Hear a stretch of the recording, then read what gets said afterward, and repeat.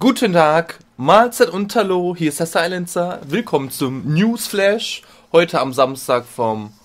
Weiß nicht, was haben wir heute eigentlich für ein Datum? Werde ich ja nachher sehen. Auf jeden Fall, äh, 19 Sekunden Newsflash, wenn ihr das noch nicht gesehen habt. Oh, jetzt fällt mir hier schon ein Zettel runter. Ich biete euch in 90 Sekunden ganz schnell äh, Gaming News an, präsentiert in witziger Weise. Ich muss mal kurz meine Eier suchen. Meine Eier? Wo ist meine Eier? Hier. Ist meine Eier. 90 Sekunden. So, ohne groß Umschweifung äh, jetzt zu tätigen, werde ich direkt anfangen. Ihr wollt ja hören und sehen und alles, was ich hier so mache. Okay, äh, was nehmen wir denn zuerst? Was nehmen wir denn zuerst? Was nehmen wir denn zuerst? Nein, nein, nein, nein. Nein, nein, nein, nein, nein, nein, nein. Nee, das ist doof. Das ist. Hier, vielleicht das hier. Okay, also. 90 Sekunden. Newsflash. Und der Entwickler DICE gibt bekannt, dass ab sofort das offizielle Forum für den Shooter Battlefield 4 zur Verfügung steht. Außerdem können sich Fans ein spezielles Doc-Tag abholen. Derzeit deutet vieles darauf hin, dass DICE und Electronic Arts den Shooter Battlefield 4 am 26. März 2013 im Rahmen dieses Young Game Developer ankündigen. Juhu!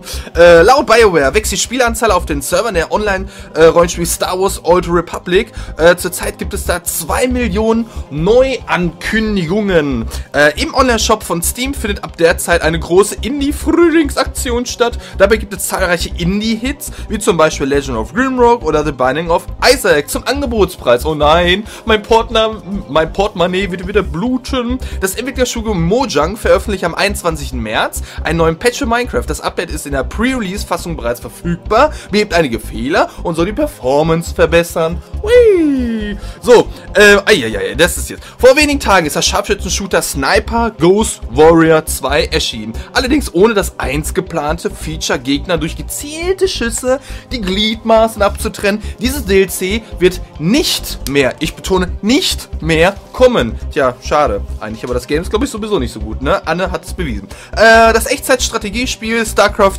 2 Heart of the Swarm äh, der kürzlich erschienene zweite Teil der Star Wars 2 Trilogie hat sich in 48 Stunden 1,1 Millionen Mal verkauft. Wow! Weiß nicht, ist das viel? Oh nein! 90 Sekunden schon um. Nein, nein, nein, nein, nein, ich hatte noch vier Zettel. Ich hab doch noch vier Zettel. Mann, Mann, Mann, Mann, Mann. Was habe ich denn hier noch? Ähm. Äh, ne. Weg. Ja. Das ist hier gut. Ähm. Da wollte ich nämlich auch noch eine Meinung zu sagen. Äh, äh, äh, äh, äh, das, das, das. Ne, alles weg. Brauchen wir nicht. Also. Wir haben bei Valve, der Online-Spielekauf-Plattform, äh, die haben jetzt so einen äh, neuen Dienst ins Leben gerufen. Und zwar Early Access Games. Ähm, das ist, eigentlich treffen die da den Zahn der Zeit. Und zwar, es hat sich nämlich seit Minecraft ein bisschen in der Spielebranche so etabliert. Was heißt etabliert? Noch nicht. Aber es, es kommt immer mehr, dass halt Spiele, die noch nicht fertig released sind, noch keinen Goldstatus haben, dass sie schon mal rauskommen. Man kann die mit kleinem Geld kaufen und die werden dann immer weiter verbessert und man quasi, man kommt mit dem Spiel mit. Man wird es erfahren, wie es sich weiterentwickelt und man bezieht oder man entwickelt eine Beziehung zu dem Spiel. Und das hat Minecraft halt super gemacht, weil die das immer neu geupdatet haben. War Z hat das auch versucht, ist ein bisschen dran gescheitert. Leider, jetzt, die kriegen ja jetzt gerade so ein paar Updates, aber ist egal. Auf jeden Fall, äh, Valve sind echt, die sind echt geschickt so, ne? Ähm, machen jetzt quasi so einen so einen Bereich, wo man sich dann diese Spiele kaufen kann. Zum Beispiel jetzt nämlich Arma 3. Arma 3 ist jetzt als Alpha rausgekommen.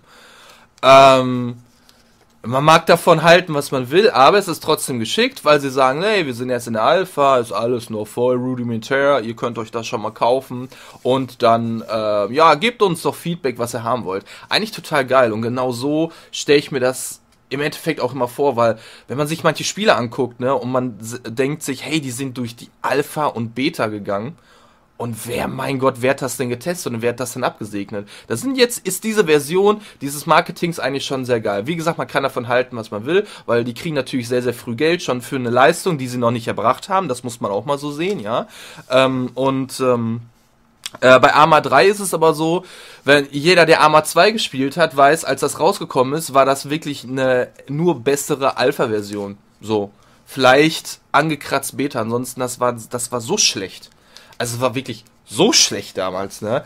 Und ich habe Arma 1, ich habe Arma 2 gespielt, Operation Flashpoint davor und da sind einfach so viele Fehler in dieser Engine gewesen, die schon immer da drin waren. Und bei Arma 3 sehe ich das jetzt genauso. Deswegen ist es jetzt immer so eine Sache, ist es ja schön und gut, dass sie das Alpha nennen, aber so Kritikpunkte, die ich zum Beispiel hätte, KI, Gameplay, ein bisschen Animation und so generelle, ähm, bisschen Bedienung und so, das sind so Sachen, die werden sie nie ändern. Das ist schon seit Operation Flashpoint so oder schon seit Arma 1 so, das werden sie nie ändern. Deswegen ist das so mit diesem Pre-Release oder bei diesen Alpha-Beta-Zugängen ist das so eine Sache, weil inwieweit haben wir denn wirklich darauf Einfluss, ja?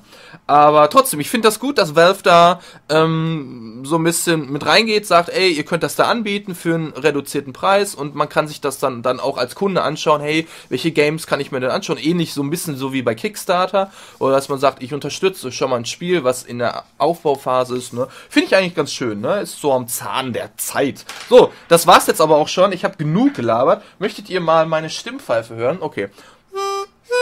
Okay, so, das war's. Ich wünsche euch einen schönen Tag. Vielen, vielen Dank fürs Zuschauen. Äh, kommentiert bitte das Video. Drückt auf Liken, also das mit dem Daumen. Hoch, nicht runter. Ne, runter gibt's glaube ich nicht. Nur mal in Comments und bei GameStar gibt's glaube ich immer runter. Naja.